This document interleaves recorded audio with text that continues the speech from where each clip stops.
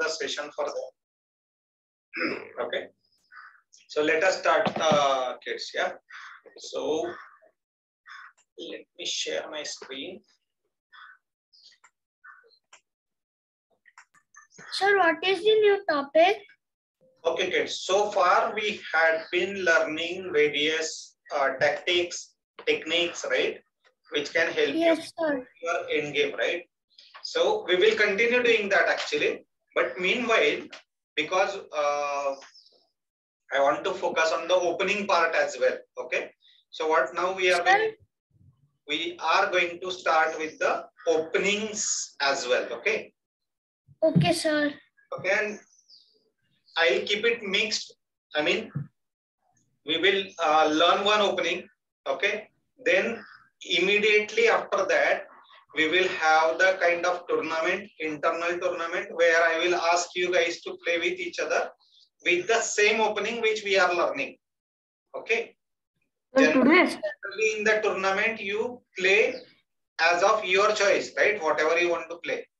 But then because we want to study that opening and I want to check whether you are able to learn and apply that, okay, what we will do, we will have the tournament and with that restricted opening that say for example king's indian if we are learning king's indian attack king's indian defense then i will suggest that you play according to that only okay?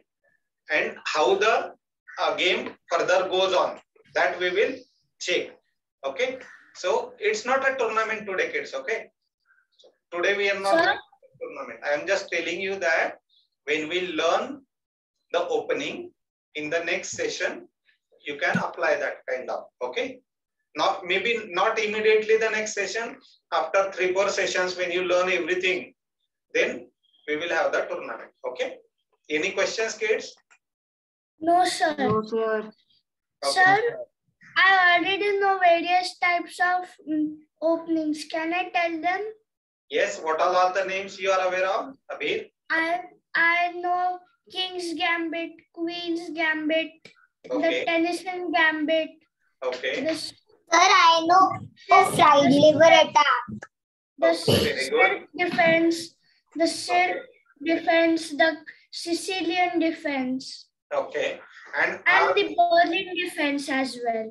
wow that's great so do you know all these uh, openings or you just heard the names abir I know these openings. Okay, so when you play, do you apply all this in your games?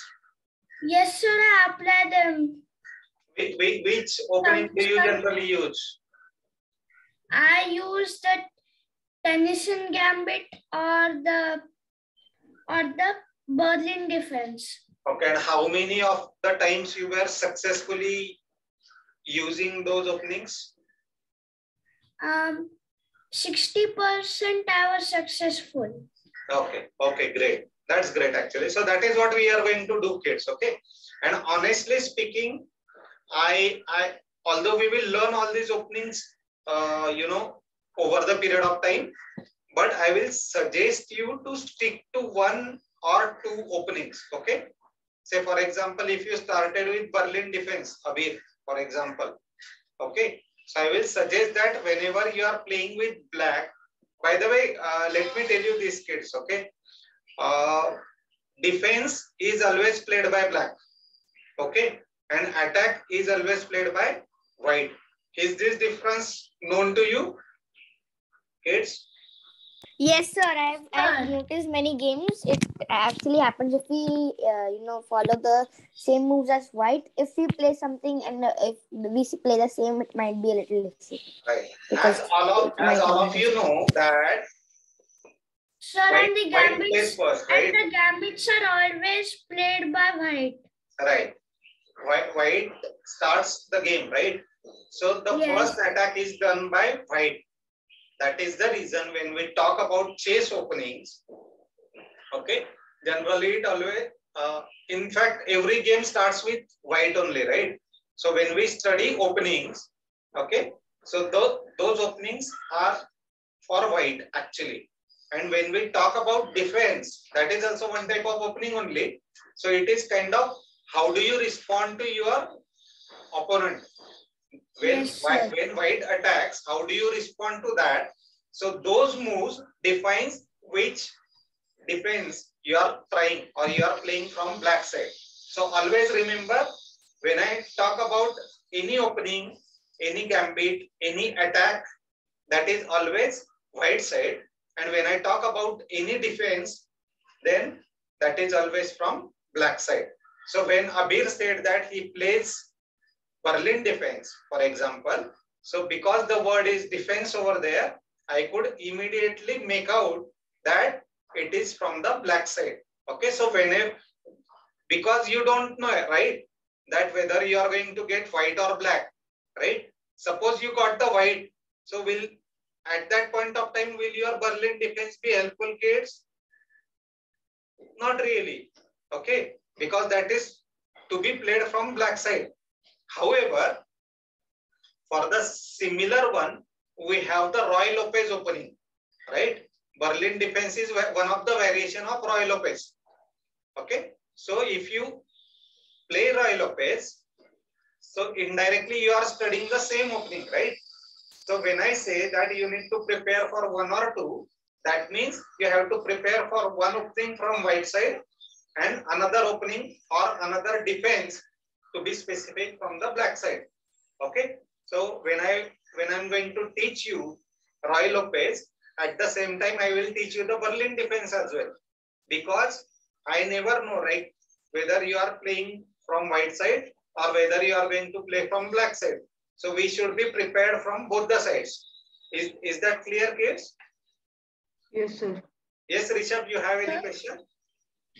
Yes, sir. I wanted to ask why should we only stick to one or two openings? Then wouldn't we be predictable and the opponent will have an advantage over us? Ki, yeah, this guy is going to play with this opening or this, or this opening, nothing else. Correct, correct.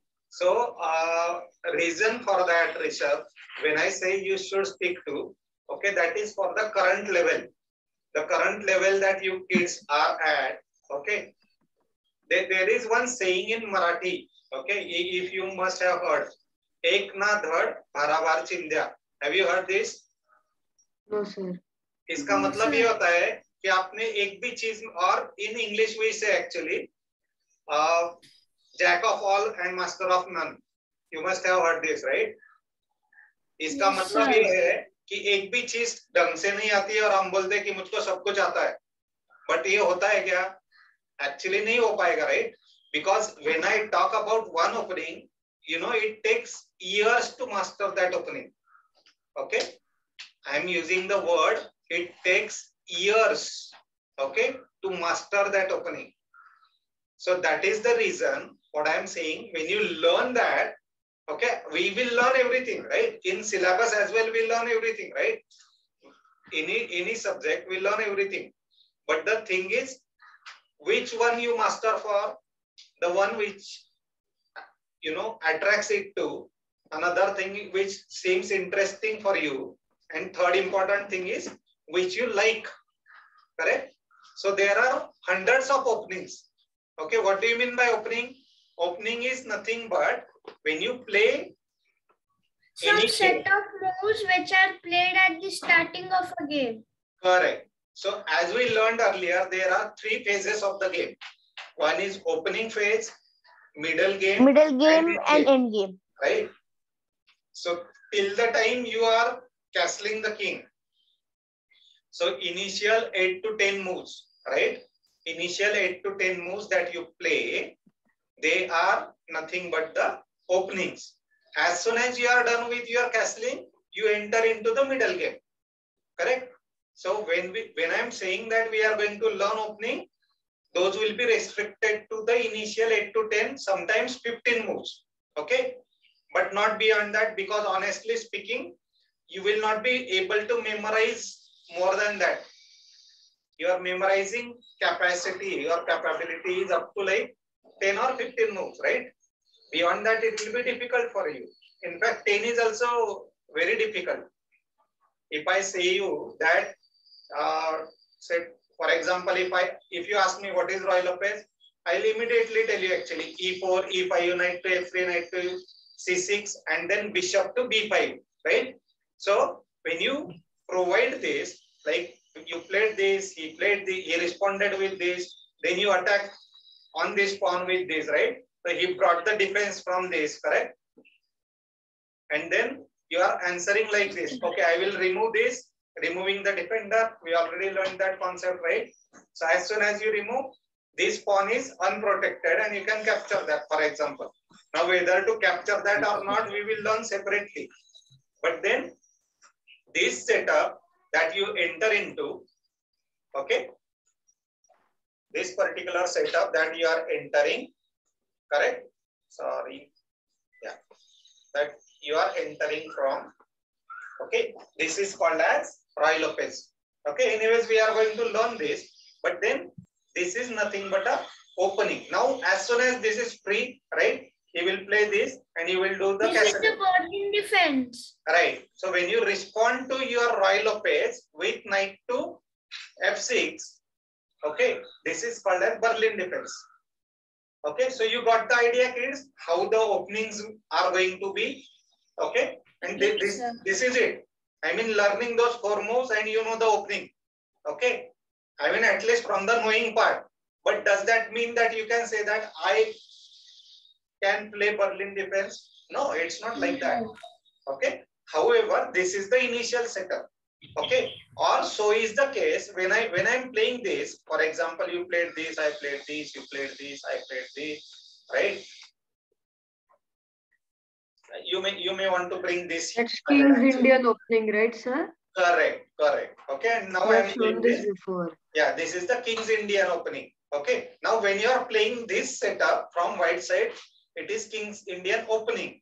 And when you are doing the same thing from black side, because from black side as well, I can play this, I can bring this out, I can play this, I can do castling, right? So it becomes King's Indian defense. Is this clear, kids? Yes, sir. Okay. So this is called as opening and we are going to study the openings theory from this session today. Okay. So are you guys ready and excited to learn kids? Yes. Yes, sir. sir. Sir, can I tell how the ten Tennison Gambit goes? We will take it later on Abir, yeah? Okay. Okay.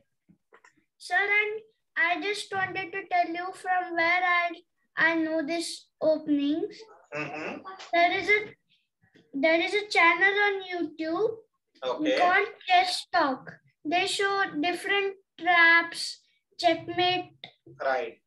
Okay, so it is good, good, good, good idea. Types Abir, and that- Okay. I am happy. Yeah, I am happy that you are watching all such videos and learning new techniques. Okay, new openings, new techniques, new tactics. Okay, you are studying the games which are played by the grandmasters and all. Okay, because all these channels, okay, they are they are really doing a wonderful job, kids. Okay, for uh, the chess community, right? So those who want to really build their uh, chess skills, okay, because uh, I, I visited Abir's house actually, okay, kids. So I, I know how interestingly he's doing that and all. Okay, so on similar lines, I will recommend each one of you to also go through such videos. Okay, however, as I mentioned, don't you know jump into many things. Otherwise, like jack of all and master of none. So we, we don't want to go over there, right? So uh, what I will suggest, if you started studying one thing, for example, right? So Ruy Lopez, for example. So you study only Ruy Lopez, at least till the time you get mastery into it. Don't even watch the other uh, gambits or other uh, things. What otherwise, what will happen in your brain? There will be mix and match of everything, right? And you will not be able to master that. Okay, so that is the only reason I said you should stick to one opening. Does that answer your answer, uh, question, Rishabh? Yes, sir. Okay, and are you satisfied with that or not? Yes, sir. Okay. Yes, sir. Now, I, I, later on, I will come to your uh, second part actually. That people will start seeing that, oh, you always play this, right? It is obvious, yes. When you are playing, okay, when you participate in the tournament, your opponent, instead of studying the chess, they study the opponent. who is he, what is his rating, which opening he plays, right? So what will be my strategy to play against that player? This is what they do actually.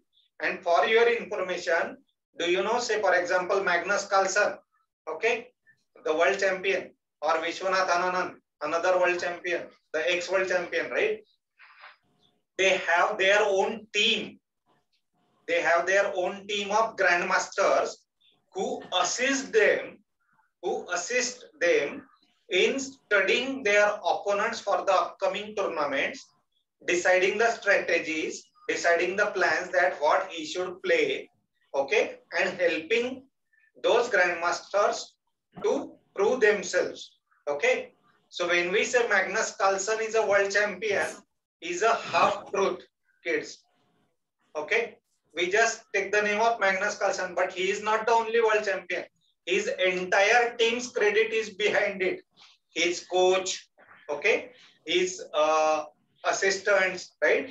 All those assistant grand, they are also grandmaster. They are also great because when you give advice to a grandmaster or to a world champion, you also need to be of that caliber, right? So, I mean, th this is what actually the fact. We just see that Tendulkar is the great cricket player. Okay, but there is a entire team which is working behind it. Right? I gave the examples to you kids as well. Like when you get medal or trophy or uh, the first prize in school, right? Your name is taken, Nishka, for example, or Rishabh stood first in the class. But is it only his or her success? No. There are parents behind it, there are teachers behind it, right?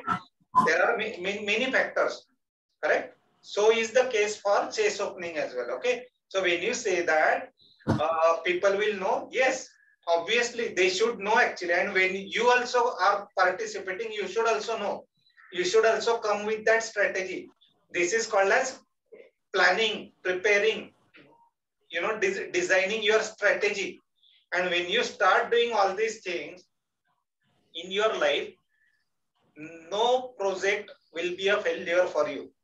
You will always be prepared because that kind of mindset is built within you. And that is actually what I want. Whether you become grandmaster or not is secondary thing for me. But if you imbibe all these qualities within you, I am sure that one fine day you will be a good human being, you will be a good or a great person in life where success will always be with you. And even if at any stage, because of something you get failed, nothing wrong in it. You are going to learn out of it. That is what we do in our tournaments as well, right? From every failed game, we learn, right? And we step up. We take the next step out of that. Are we are we giving up, kids? No. Those who are giving up, say for example, you also you also know that when we started class, we had minimum 12 to 14 kids in our class, right? Day, day by day, some kids are giving up. But then who is going to lose? They are going to lose. Right? They are not going to lose. the kid, the kids which give up. Right. So, and as I said, it's not only about chess kids. I always talk about the life lessons related to it. Okay, so that is going to help us. Anyways, kids, so without uh, wasting too much time on that, let's start learning chase openings. Okay, the first one, as I said, I'm going to start with the first one, very interesting, Ruy Lopez. Okay. Yeah, so uh, as I already shown you, Ruy Lopez starts with E4.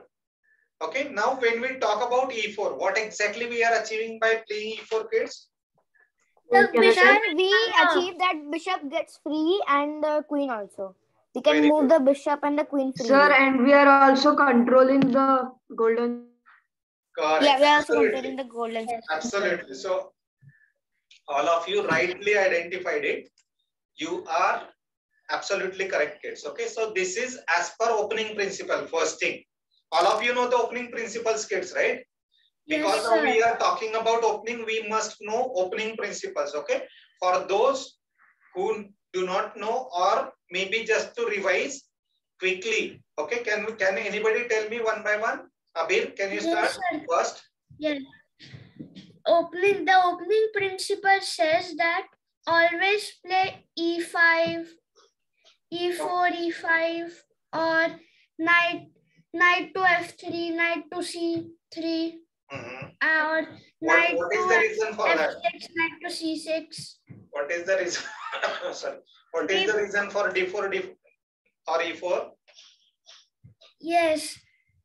Then we control the Control center. the Central square. We control. Yes, we get the control of the center.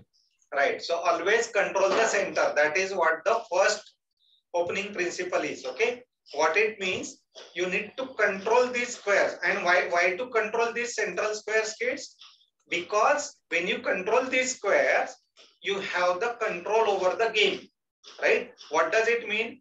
When you have any of your piece sitting here, okay, you can attack anywhere. For example, like this, right? Can you see? It is attacking on Yes, majority of the opponent's pieces. Majority in the sense almost all except these two. When your two pieces are here. Okay, and if your other two pieces are here, they are controlling this as well. The entire opponent's team is on your radar. Sir, but the bishops are not controlled. Do you need to? No, not really. Right? So they, they are already hmm. blocked. They are already blocked. They, they cannot do anything actually unless and until it gets opened, right? So long story short, because of this, you can control your entire opponent's army. Okay, and that is the reason these are called as the golden squares. However, however, keeping your pieces here is also equally danger for you. Correct? It is just it is just like in the open ground, you are going and standing there. "Hey, I am here, come fight with me. Okay. So if you do like this and somebody comes and shoots you directly, you are gone. Correct?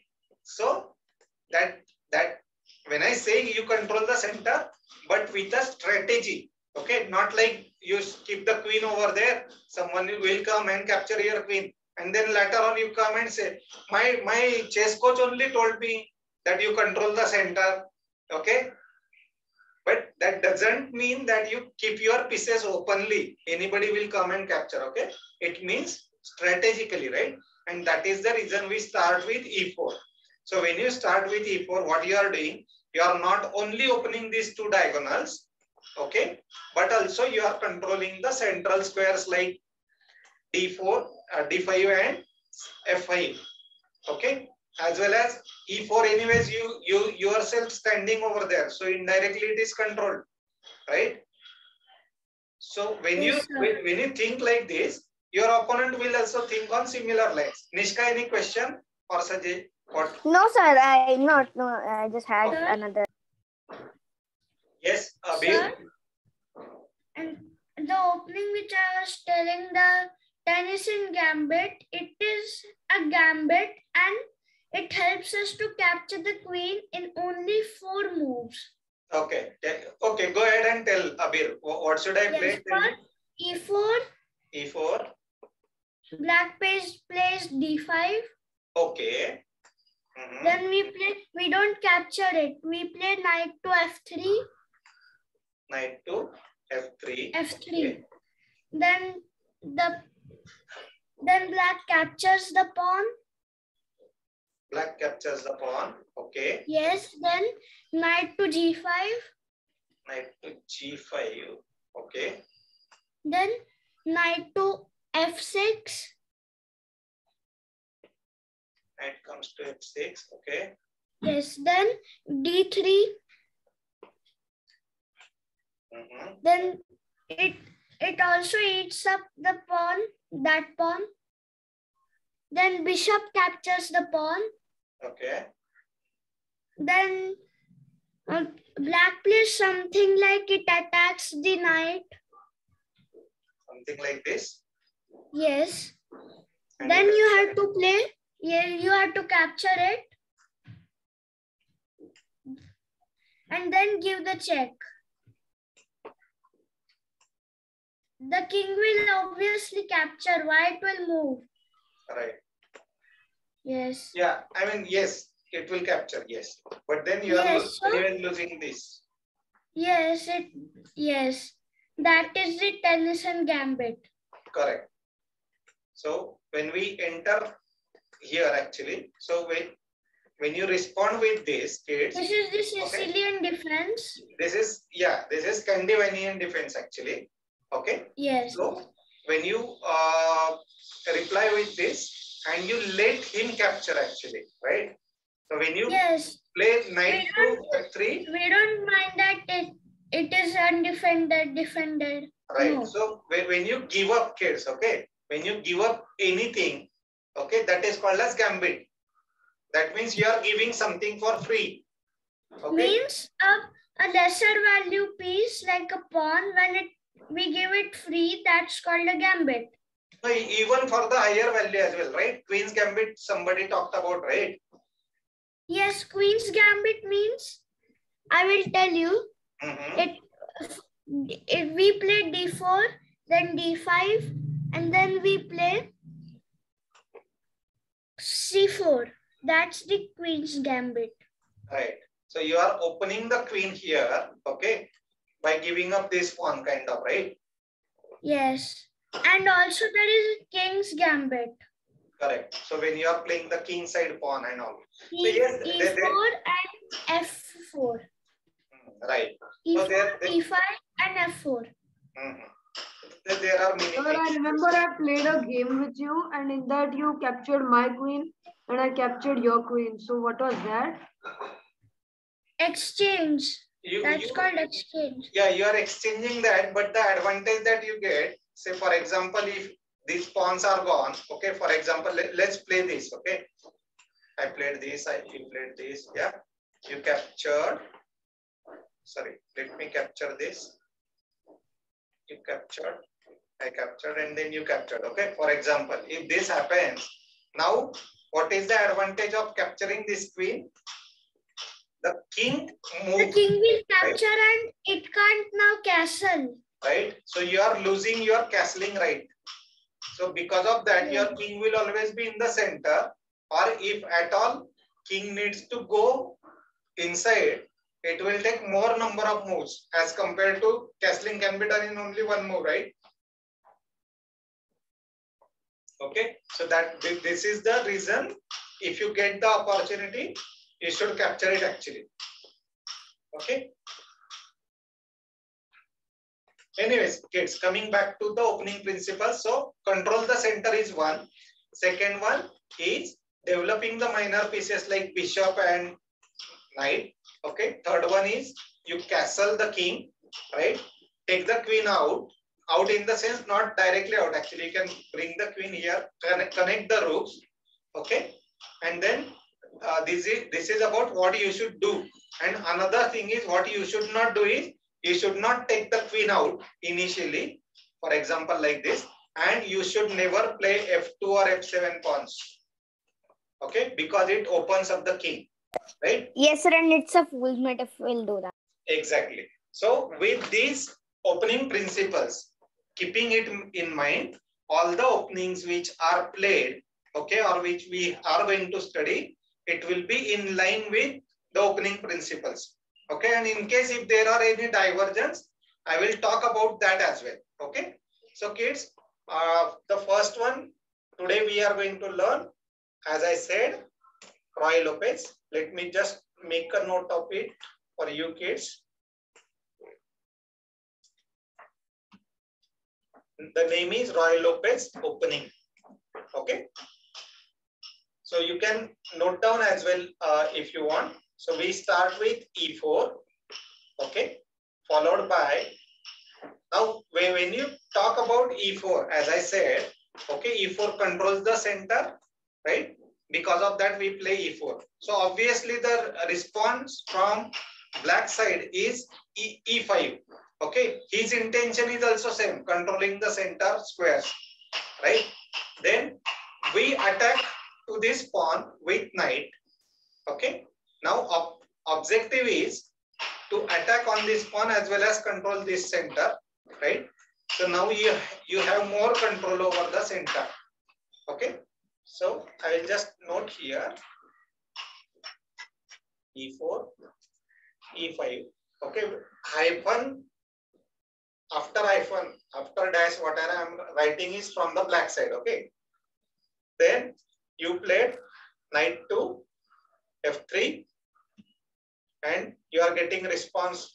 What response you, you will get now here, kids? Sir, uh, uh, knight to six. c6.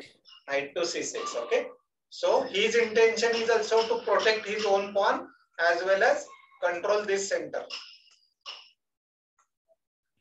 Okay.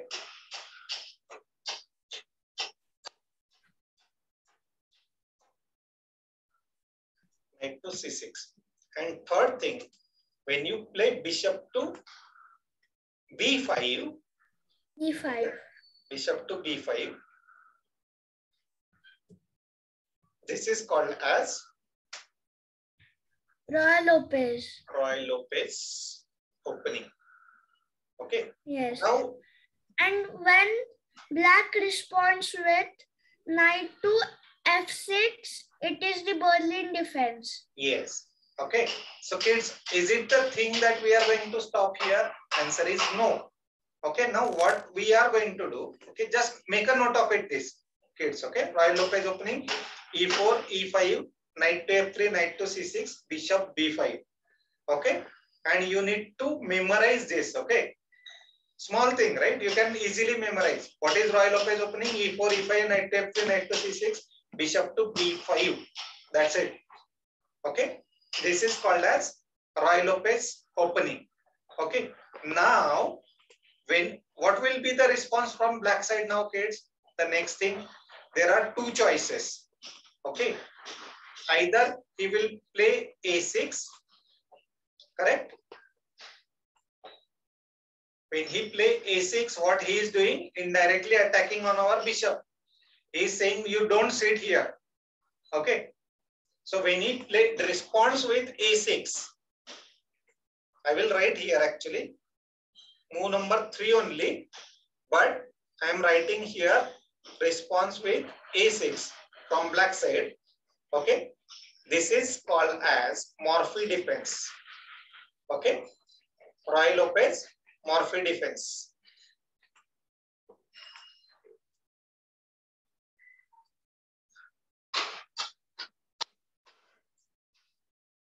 And honestly speaking, kids, don't get too much worried about the names. Okay. If you do not remember the name, but still if you are managed to learn the moves and play, that is also okay for me. Right? Yes. End of the day, We just need to learn the moves, not the names of the openings. Right. The moves, learning the moves is important for us, not the names of the opening. However, if you can remember the moves as well as the opening names, very good. No, nothing wrong in it. Yeah. Rishabh, that's fine, beta. Even if your brother, sister coming in the camera, that should not be a problem. Okay. Unless No, and until they- actually she they was are talking to and dis- me. yeah, yeah.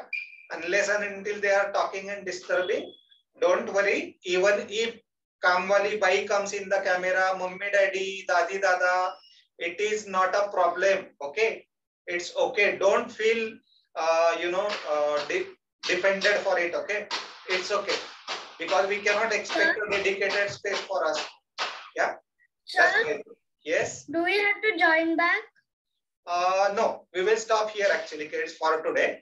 Okay, you just note down this and let me tell you what benefit you are getting. Okay, now what this morphy defense is saying is you don't stand here. Okay, now when you play this, either it will go back or it will capture. Correct? When it captures, when it captures, it is called as exchange variation. Okay, Ruy Lopez exchange variation. Now, what is the benefit that you are getting because of this? Your this pawn is doubled, right? The pawn gets doubled, as well as this pawn is now hanging. Okay. Now, whether we should capture it or not is a different matter. We will learn it in the next section. Okay. Okay, sir. We, but for now, up to this actually. Let, let's talk about three three moves only kids. Okay. E4, E5, knight to F3, knight to C6, bishop B5. This is Ruy Lopez opening and responding with A6 is a Morphy defense in Ruy Lopez opening. Okay. This is called as opening and this is called as variation.